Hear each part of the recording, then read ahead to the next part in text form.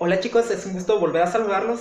En esta ocasión vamos a seguir trabajando con nuestro contenido del curso y para esta oportunidad tendremos el tema de la multiplicación.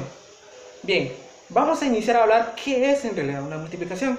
Hablar de una multiplicación es precisamente eh, hablar de, de una operación que podemos utilizar para poder simplificar una suma. ¿Sí? Es decir, la multiplicación es una suma abreviada de un número que se va repitiendo tantas veces como lo indique otro.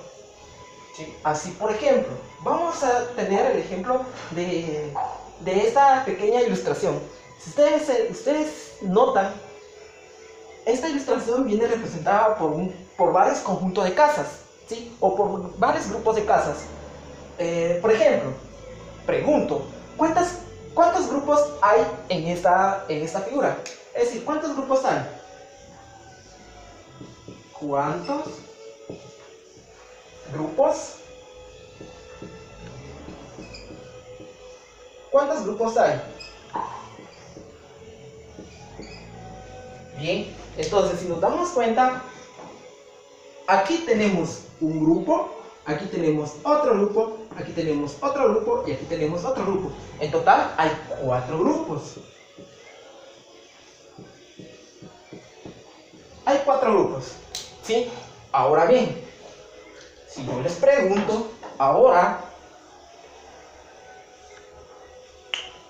¿cuántas casas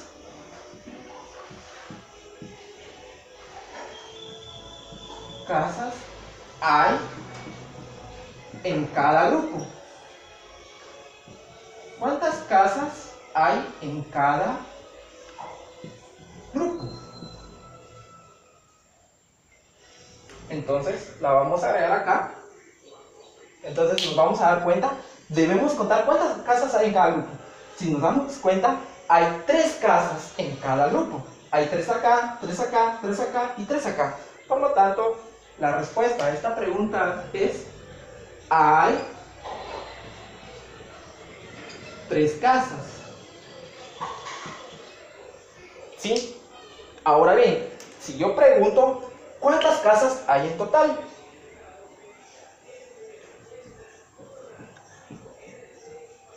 ¿Cuántas casas hay en total?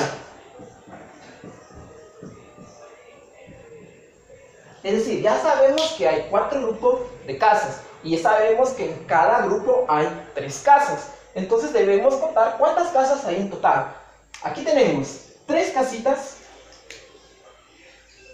más otras tres casitas que hay acá, llevamos seis casas. Más otras tres casas que hay acá, llevamos nueve casas. Más otras tres casas que hay acá, entonces llevamos un total de 12 casas.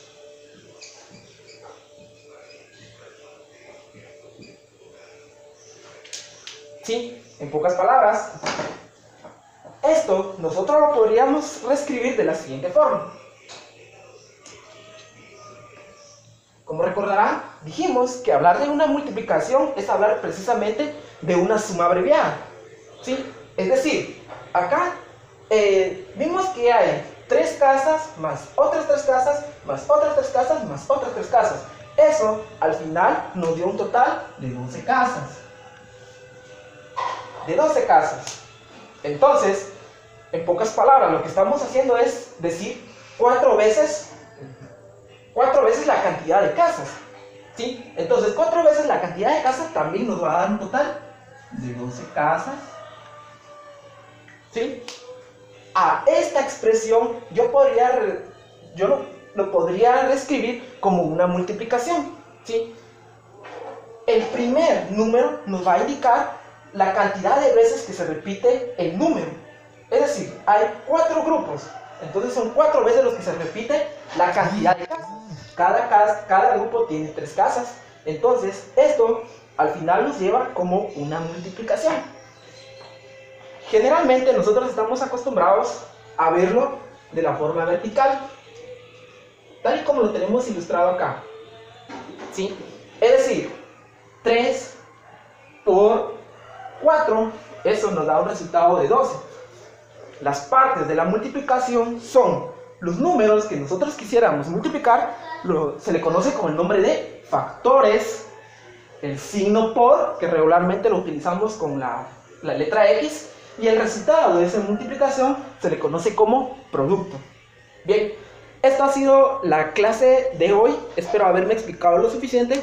Cualquier duda que tengan, no olviden escribirme, que con mucho gusto estaré para apoyarlos.